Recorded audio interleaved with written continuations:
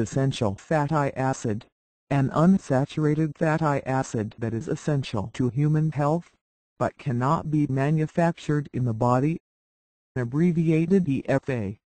There are three types of EFAs, arachidonic acid, linoleic acid, and linolenic acid.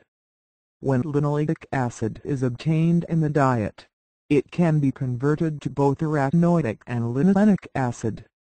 Linoleic acid is commonly found in cold-pressed oils, especially oils extracted from cold water fish and certain seeds. Supplementation with EFAs appears to be useful as a treatment for certain neurological disorders.